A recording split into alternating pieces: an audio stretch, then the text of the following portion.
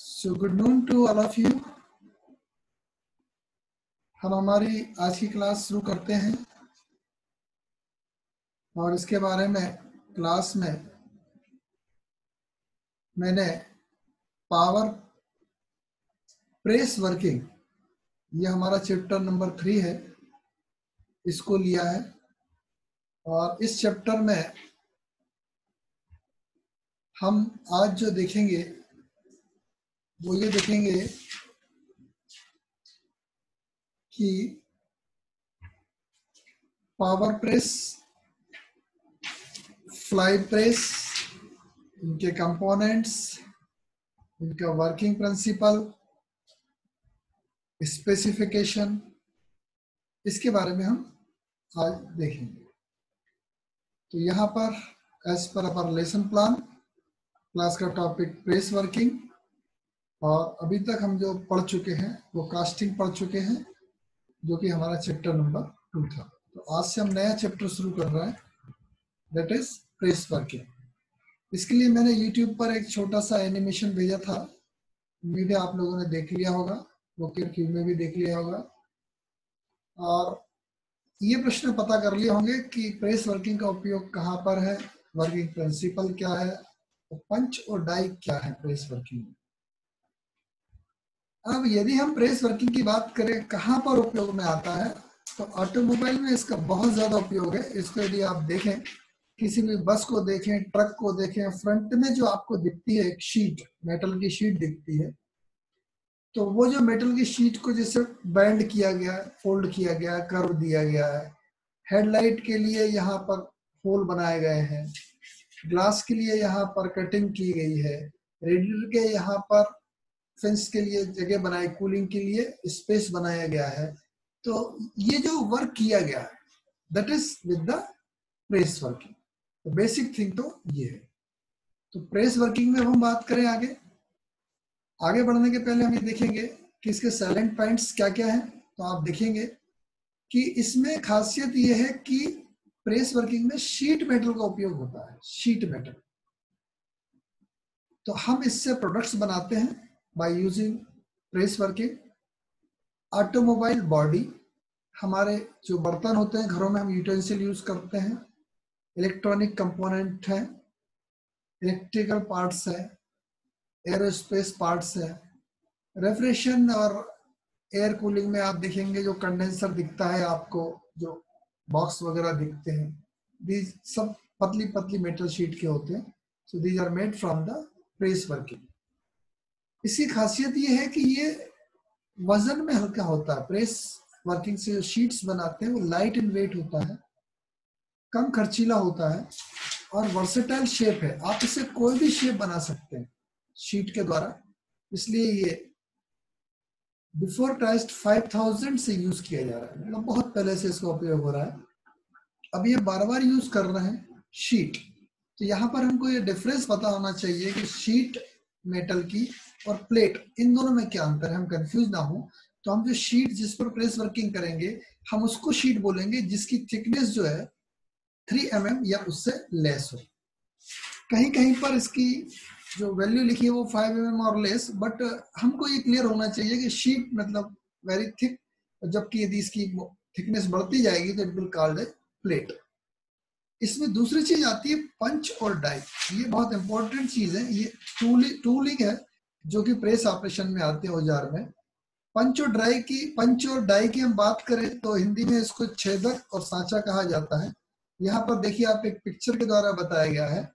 इस पिक्चर में आप देखेंगे कि ये वाला जो पोर्शन दिख रहा है आपको राउंड सॉलिड मेल पार्ट जो है this is called basically the punch और जब हम इसको यूज़ करेंगे इन्वर्ट करके इस होल में तो ये कहलाएगा हमारा डाई तो basically this is punch this is die तो ये इंपॉर्टेंट चीज़ है।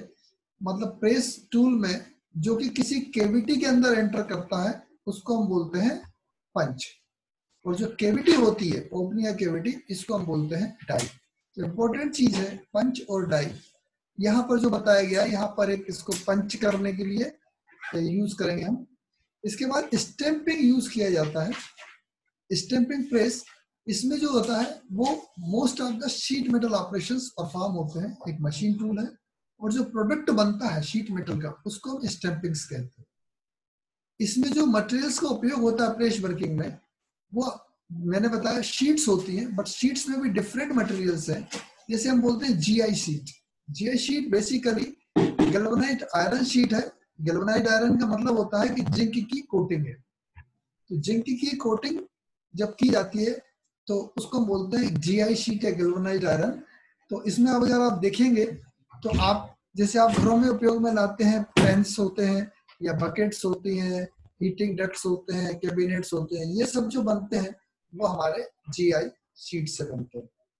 दूसरा होता है स्टेनलेस स्टील एसएस जिसमें कि हमारा ऑटोमोबाइल में हम देखें फ्यूल टैंक जिसमें हम पेट्रोल डालते हैं, या रिम है हमारे, या बॉडीज है हमारी, ये सब एसएस की यूज़ की जाती है, या डायरीज फ़ूड डेयरी में या फ़ूड प्रोसेसिंग में जो एसएस यूज़ किया जाता है आपने देखा होगा, टेबल्स रखे हुए हैं या आपका बॉक्स बना हुआ आजकल अपन देखते हैं खाने पीने की जगह जहाँ रहती है, वो सब चमकदार चमकता है तो वो स्टेनलेस स्टील होता है और पतली शीट से बनाया जाता है प्रेस वर्किंग के द्वारा। इसके बाद में कोल्ड रोल्ड और hard rolled copper sheet copper sheet का उपयोग हम देखेंगे, जो हमारे ऑटोमोबाइल में रेडिएटर है या एक्सपेंशन ज्वाइंट से रूफ फ्लैशिंग है हुड हुड जो अपन देखते हैं गाड़ियों में, वहाँ पर यूज़ किया जाता है। Aluminium with a very small amount of copper silicon तो एल्यूमिनियम में अपन देखते हैं कि हमारे जो आजकल इंजन ब्लॉक आते हैं, या इंजन हेड है, यहाँ पर ब्लॉक और हेड की जहाँ तक बात करेंगे पिस्टन की है। ये जो बनते हैं, हमारे कास्टिंग के द्वारा बनते हैं, लेकिन इसके साथ में जो शीट लगती है थिन वो वाली पिस्टन ब्लॉक और इंजन हेड के बीच में, वो एल्यूमिनियम की ही होती है। इसके बाद में steel iron coated with tin जैसे अपन ऑयल कैन देखते हैं ऑटोमोबाइल में अपन को ऑयल मिक्सिंग करना एक कैन यूज़ होती है। या फ़ूड कंटेनर्स आपने देखा होगा, आजकल जो कोल्ड ड्रिंक्स वगैरह आते हैं, वो केन में आते हैं, वो स्टील कोटेड विथ टिन उसके द्वारा बनाई जाती है, वो भी शीट के द्वारा है।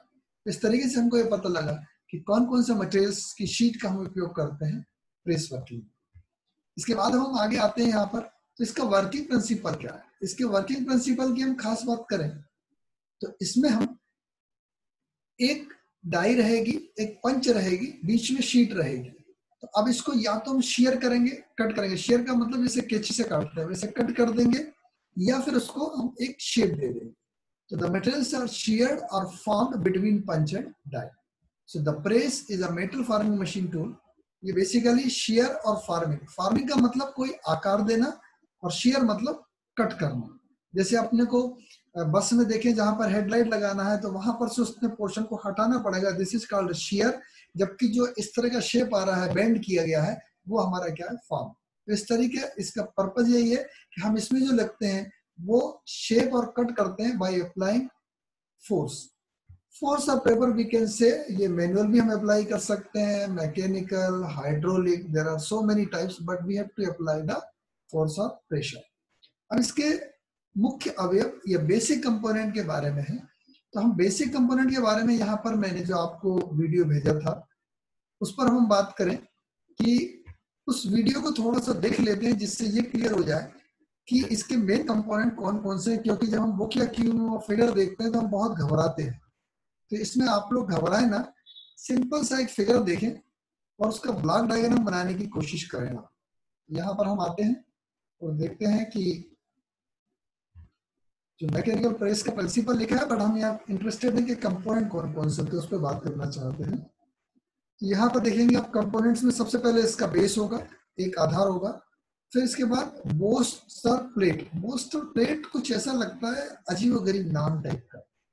बेसिकली बोस्टर का मतलब समझे आप एक सपोर्ट इसके ऊपर आएगी डाई तो डाई को सपोर्ट देने के लिए जो हमने फ्लेट पीस लगाया है, इसको हम बोलते हैं बोल्स्टर बोल्स्टर प्लेट तो बोस्टर प्लेट के नाम से ना घबराएँ सिंपल एक सपोर्ट के लिए हमने प्लेट लगाई हुई है। अब इसके ऊपर आएगी हमारी डाई तो आगे देखिए आप। पहले बेस उसके ऊपर बोस्टर प्लेट बोस्टर प्लेट में खांचे भी बने होते हैं जिससे हम डाई को होल्ड कर सके। उस पर मैं अलग से पिक्चर दिखा दूँगा आपको। तो बोस्टर प्लेट तो आप एक ब्लॉक बनाए। ब्लॉक में सबसे पहले बेस बना दें। कलर यूज़ ना करें। इसके ऊपर इस तरह का एक, जो आप ये थ्री में आप टू में ही बना दें।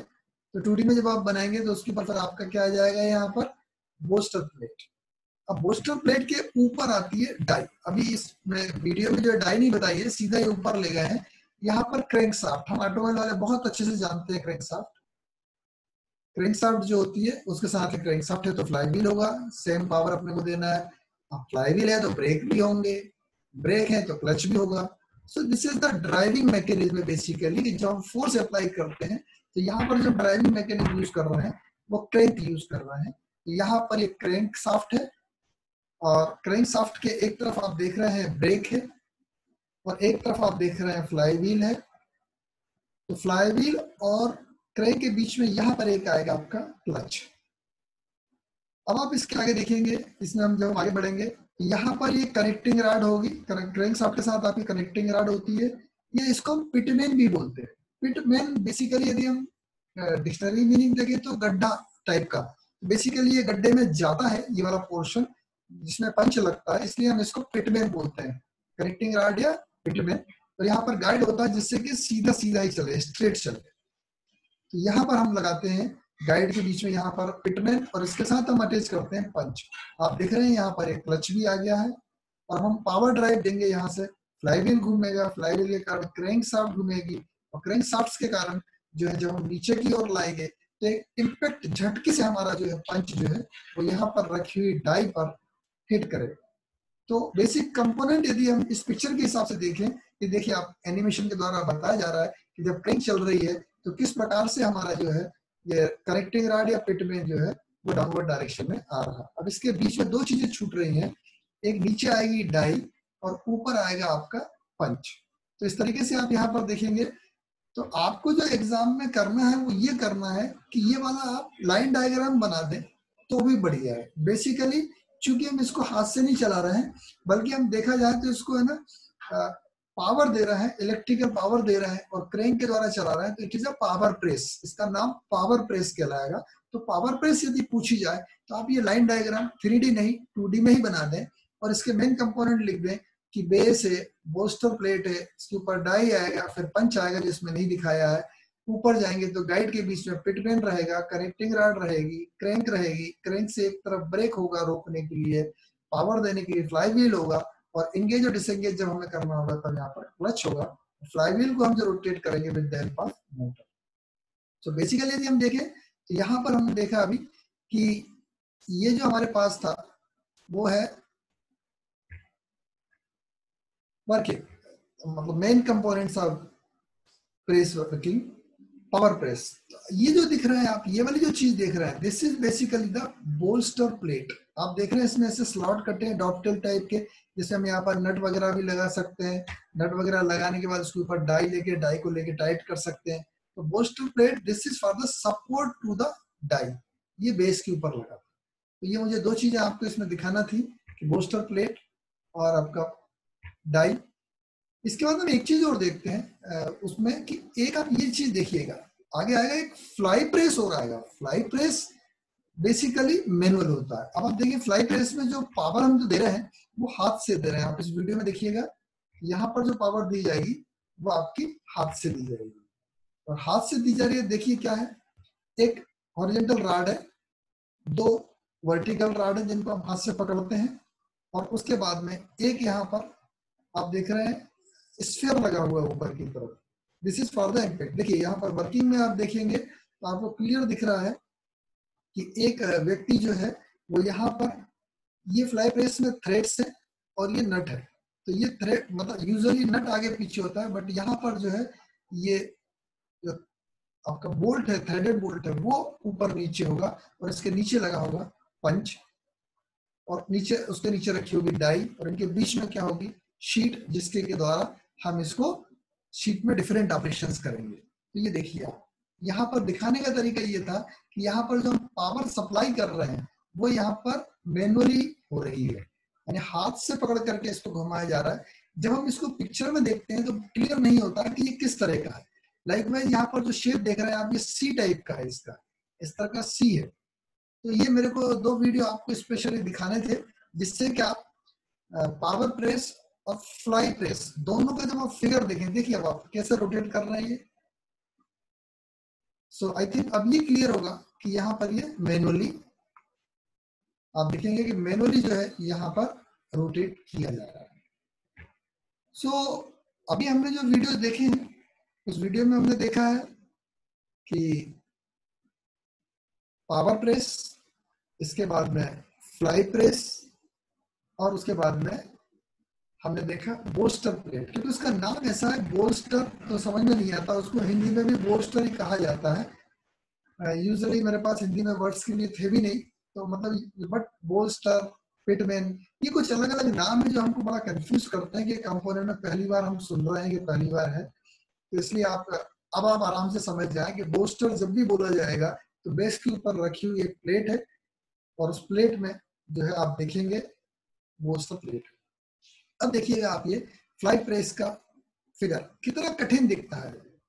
मतलब देखने में ही इतना लगता है कि कितना कॉम्प्लिकेटेड है। बट यदि आप उसको एनालॉजी करें एनिमेशन से, सबसे पहले क्या बनाया है इसने? बेस नंबर अगर आप मैच करें नंबर नाइन जो रहा देखिए आपका बेस है। ये बेस है। अब यहाँ से चूँकि साइड व्यू बनाया है तो साइड व्यू ये वाला पोर्शन जो है, ये जो आपको दिख रहा है बैंड वाला, ये क्या कहलाएगा अपना? फ्रेम ये दस नंबर होगा। तो बेस और फ्रेम अब अपन शुरुआत करते हैं नंबर एक। दिस इज़ रेम अपन ने उसने जो बताया था रेम को क्या बताया था? पिटमैन रेम इसके बाद में थर्ड नंबर पे इसने पिटमैन ले रखा। कनेक्टिंग राड को बोला था पिटमैन यस कनेक्टिंग राड जो है, इसको इसने कनेक्टिंग राड को बोला था पिटमैन और ये जो नंबर दो पर है, ये अपना कनेक्टिंग राड मतलब रेम मतलब कनेक्टिंग राड के नीचे जो आपने देखा रेम अपन उसको बोलेंगे, उसके नीचे लगेगा पंच दिस इज़ अपन रेम और ये जो चलेगा, यहाँ पर गाइड होगा। गाइड के बीच में चलेगा, जिससे कि स्ट्रेट नीचे आए। ऊपर आप देख रहे हैं चार नंबर पर, यहाँ पर क्रैंक साफ्ट ये पूरी क्रैंक साफ्ट है। ये पाँचवें नंबर का आप देख रहे हैं फ्लाई व्हील है। छठवें नंबर का आपका पंच होगा। सातवें नंबर का आपका डाई होगा। और आठवें नंबर का जो हम यहाँ पर देख रहे हैं, ये बोस्टर प्लेट है, जो कि बेस के ऊपर जिस पर डाई रखी हुई है।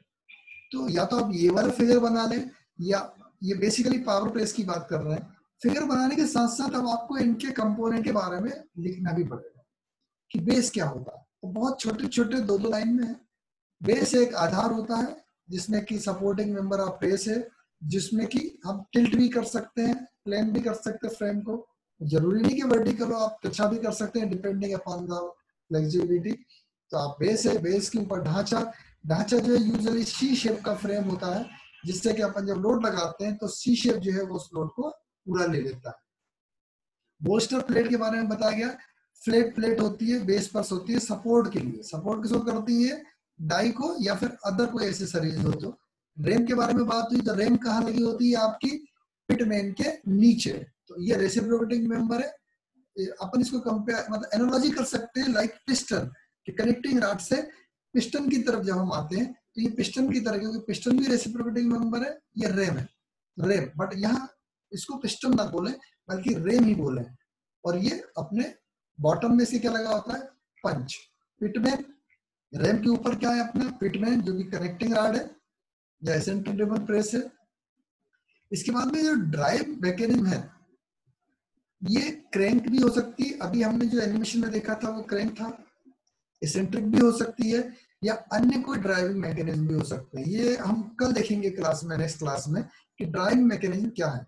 बट इन सबका पर्पज यही है कि रोटरी मोशन जो मोटर से मिलता है मोटर से फ्लाईव्हील को मिलता है फ्लाईव्हील से आगे बढ़ते हैं हम, उसको कन्वर्ट करते हैं reciprocating movement of punch punch मतलब रेम तो बेसिक पर्पज ये है कि ये जो ड्राइविंग मैकेनिज्म है, वो कन्वर्ट करता है rotary motion into the reciprocating motion just reverse of engine engine में हम करते हैं रेसिप्रोकेटिंग मोशन को रोटरी मोशन में कन्वर्ट फ्लाईव्हील आप बहुत अच्छे से जानते हैं फ्लाईव्हील में कि वी आर जब हम फ्लाईव्हील को यूज़ करते हैं तो जब हम देखते हैं कि जो फ्लक्चुएशन ऑफ़ स्पीड होता है उसको कांस्टेंट बनाए रखने के लिए हम फ्लाईव्हील का उपयोग करते हैं।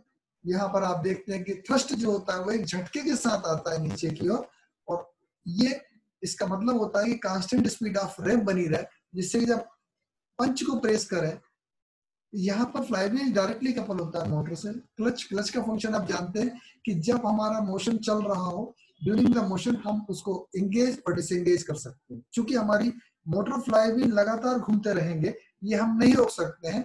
लेकिन हम यदि चाहे क्रेंक साफ्ट को फ्लाईव्हील से हमारी इच्छा के अनुसार एंगेज या डिसंगेज कर सकते हैं। यदि हमें रेल का मोशन रोकना है तो हम इसको डिसंगेज कर देंगे और यदि चलाना है तो क्लच कर मतलब एंगेज कर देंगे?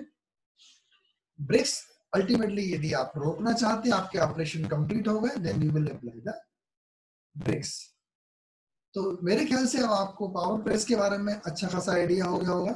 अब हम देखें कि हम मार्केट में लेने जाए प्रेस कि हमें प्रेस चाहिए साहब, हमारे काम है। तो उसको मांगेंगे कैसे? This is called the specification जैसे पेट्रोल और डीजल पे जाते हैं तो हम बोलते हैं पेट्रोल दो।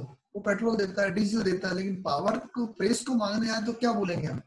तो पावर मतलब प्रेस को जो, जब हम मांगते हैं तो उसका मोस्ट यूज़ जो स्पेसिफिकेशन है वो है कि maximum capacity of applying load हम इस पर कितना अधिकतम लोड लगा सकते हैं, इसके आधार पर यूजली प्रेस मिलती है, जो कि पाँच टन से लेकर के पचास हज़ार टन तक, पचास हज़ार टन ऑफकोर्स बहुत ज़्यादा है तो इसके लिए आपको हाइड्रोलिक यूज़ करना पड़ेगा, क्योंकि ये मोटर वगैरह से तो आप कर नहीं पाएँगे। मैकेनिकली नहीं हो पाएगा तो हाइड्रोलिक या न्यूमेटिक आप इसमें यूज़ करेंगे फिफ्टी थाउज़ेंड के लिए। बट हाँ पावर प्रेस जो है, वो कैपेसिटी के हिसाब से मिलेगा। जैसे कि हमारे घरों में फ्रिज है, हम बोलते हैं 170 लीटर का दें, या ढाई सौ लीटर का दें, साढ़े तीन सौ लीटर का दें, उस प्रकार से हमें प्रेस चाहिए तो प्रेस के लिए हम बोलेंगे कि इसमें हम कितना लोड अप्लाई कर सकते हैं। Maximum capacity of applying load इसके अलावा दूसरे पैरामीटर्स भी हैं कि बेड एरिया बेड एरिया मतलब कि जहाँ पर हम प्रेस को रखेंगे, वो कितनी जगह लेगी this is the bed area फिर इसके बाद डायमेंशनल अलग अलग देखें आप कि लेंथ ऑफ़ स्ट्रोक का पंच पंच जो आता है, वो ऊपर से नीचे तक कितना आता है लेंथ ऑफ़ स्ट्रोक फिर इसके बाद कितने हम टूल्स लगाने के लिए कितनी जगह है, कितना बड़ा, छोटा लगा सकते हैं। शीट को लगाने के लिए कितनी जगह मिलेगी तो ऑल दी डायमेंशन मतलब एक्सिलरीज है ये स्पेसिफिकेशन के। इसके बाद हमें जब स्ट्रोक लेना है तो कितना फोर्स ज़रूरी होगा? देखिए, ये तो मैक्सिमम कैपेसिटी है बट मिनिमम कितना लगेगा अपने को? और इसके बाद जो मशीन है, उसकी स्पीड क्या है या आरपीएम क्या है जो हम चलाते हैं? इस तरीके से यदि आपको आता है कि पेपर प्रेस साइज़ या उसका स्पेसिफिकेशन के लिए कौन कौन से है तो ये पाँच पॉइंट है जिनको आप लिख सकते हैं कि हाउ टू स्पेसिफाई प्रेस या प्रेस को जब आप खरीदने जाए तो आपको कौन कौन से डायमेंशन की ज़रूरत पड़ेगी? फ्लाई प्रेस ये मैंने आपको फ़ोटो में दिखा दिया है। खासियत यह है कि it is a hand operated type press in simplest of all presses जो मैंने बोला कि पाँच हज़ार साल पहले से जब ये यूज़ होती आ रही है, उस समय पर ये सिंपलेस्ट और हैंड ऑपरेटेड थी। इसमें बाकी की सारी डिटेल वही है कि इसमें खोरिजेंटल आर्म है, एक पे बॉल है, दूसरे पर दो हैंडल है, एक स्क्रू है, जो कि नट में है फिक्स है। और यहाँ पर हम देखेंगे ये आगे बढ़ता जाता है, जब हम लोड अप्लाई करते हैं स्क्रू के एंड में एक रैम होगा, ये ऊपर नीचे होगा वर्टिकल डायरेक्शन में। और रैम में हम क्या लगाएँगे यहाँ पर? पंच और डाई को हम यूज़ करेंगे बेस के ऊपर सपोर्ट या बोल्स्टर प्लेट के ऊपर। तो यहाँ पर यदि हम देखें तो हम आगे बढ़ते हैं और ये पाते हैं कि ये आपका फ़ोटो है, जो आप वेल नोन है, इसकी वर्किंग हमने देख ली है। फ़ोटो देख लिया है कि दो बॉल है, यहाँ पर हैंडल है रोटेट करते हैं। वहाँ पर दो हैंडल और एक बॉल थी, यहाँ पर दो बॉल है और एक हैंडल है। आप रोटेट कर सकते हैं। ये थ्रेडेड है नट है, यहाँ पर ये आपका रेम है, ये रेम की गाइड है कि सीधा चले। एंड में पंच है और ये गाइड है और ये आपकी फ्रेम है सी टाइप की। सपोर्ट करना। यही इसकी वर्किंग में लिखा हुआ है कि जो आर्म है it gives quick rotation quick rotation by means of handle मतलब बहुत जल्दी से जाते हैं। और इसके बाद हाइट ऑफ़ प्रेस की हम बात करें तो हाइट ऑफ़ प्रेस में दो हाइट को हम यूज़ करते हैं। हाइट ऑफ़ प्रेस की बात की जाएगी तो इसमें दो तरीके से हम हाइट ऑफ़ प्रेस को बताते हैं। पहला हम लेते हैं शर्ट हाइट और दूसरा लेते हैं डाई हाइट शर्ट हाइट और डाई हाइट में आप एक डिफरेंस देखें कि यदि हम बोल्स्टर प्लेट को हटा दें तो बेस से लेकर के पंच को सबसे ऊपर तक ले जाए टॉप मोस्ट तक पंच को ऊपर तक ले जाए पंच ऊपर तक नीचे आएगा लेकिन ऊपर जाएगा, सबसे ऊपर पंच को यदि हम करते हैं टीडीसी पर टॉप डेड सेंटर पर, और उसके बाद केवल बेस तक के डिस्टेंस को नापे तो ये हमारी कहलाएगी शर्ट हाइट लेकिन यदि हम इसके ऊपर बोस्टर प्लेट रख दें, और बोस्टर प्लेट को रखने के बाद उसी टॉप टीडीसी वाले को नापे कि वो कहलाएगी हमारी डाई हाइट मतलब ये यदि आपकी, मान लीजिए सपोज़ ये आपका है टोटल हाइट ये आपका टॉप डेड सेंटर ऑफ़ किसका हो गया? पिस्टन का मतलब रेम का पंच का, और ये आपका हो गया बेस तो ये अपनी कहलाएगी शर्ट हाइट वही यदि अपन ने सपोज़ ये मैंने रख दिया एक बोस्टर प्लेट तो बोस्टर प्लेट रख दी। तो ये बोस्टर प्लेट उसके बीच की डिस्टेंस कहलाएगी डाई हाइट तो यहाँ पर दो हाइट का उपयोग किया जाता है प्रेस में शर्ट हाइट या डाई हाइट तो ये पिक्चर आप केवल इतनी सी पिक्चर बना दें तो भी चलेगा शर्ट हाइट और डाई हाइट को बताने के लिए। तो इस तरीके से हम देखें, आज हमने जो देखा है क्लास में वो देखा है इंट्रोडक्शन के कहाँ पर यूज़ होते हैं, कौन से मटेरियल्स हैं इसके बाद टर्मोलॉजी क्या क्या है? ये हमने इंट्रोडक्शन में देखा है। वर्किंग प्रिंसिपल में हमने देखा है कि यहाँ पर वर्किंग प्रेशर में शीट मेटल के लिए हम एक मैकेनिकल फोर्स अप्लाई करते हैं with the help on the metal sheet जिसमें कि आइदर शेयर या फॉर्म के द्वारा हम शेप देते हैं। बेसिक कंपोनेंट्स हमने यहाँ पर देखे हैं। आप दो तरह की प्रेस जो आपके सिलेबस में पावर प्रेस और फ्लाई प्रेस इनके फिगर भी देखे हैं। स्पेसिफिकेशन में हमने पाँच देखे हैं, जिसमें कि पहला फॉरमोस्ट है maximum capacity of applying load dimension bed area RPM maximum load और उसके बाद में हाइट ऑफ़ प्रेस वर्किंग यहाँ पर हमने देखा दो तरह की हाइट यूज़ की जाती है, एक डाई हाइट और एक शट हाइट अब हम नेक्स्ट क्लास में जो दूसरा पोर्शन आपका आता है, कि ऑपरेशन ऑफ़ प्रेस वर्किंग या फिर ऑपरेशन ऑफ़ प्रेस वर्किंग के अलावा आपको एक क्वेश्चन और आता है दैट इज़ द यदि हम बात करें operation of working press different drive mechanism drive mechanism भी आता है। ड्राइव मैकेनिज्म किस तरीके से हम ड्राइव करते हैं। या एक और चीज़ आपकी आती है दैट इज़ डाई डाई के types types of dies dies जो है कौन कौन सी होती है? और ड्राइव मैकेनिक तो इस तरीके से कल जो है हमारी क्लास इसी समय पर रखेंगे और उसमें हम देखेंगे कि प्रेस वर्किंग क्या है मतलब operation of press working die के टाइप देखेंगे और ड्राइविंग मैकेनिक देखेंगे। तो इस तरीके से जो आज की हमारी क्लास थी, उस क्लास में हमने यहाँ पर देखा है प्रेस वर्किंग की शुरुआत। तो अभी आपने जैसे पूछा मेरे से कि डाई हाइट और शर्ट हाइट तो इसमें डिफरेंस ये था और इसके अलावा आप लोग कोई और प्रश्न हो तो पूछ सकते हैं आप। अदरवाइज़ फिर हम हमारी क्लास को एंड करते हैं क्योंकि और कल फिर हम जो बात करेंगे प्रेस ऑपरेशन तो कल हम ये press working work press working जो चैप्टर है, इसको हम एंड कर लेंगे। So thank you very much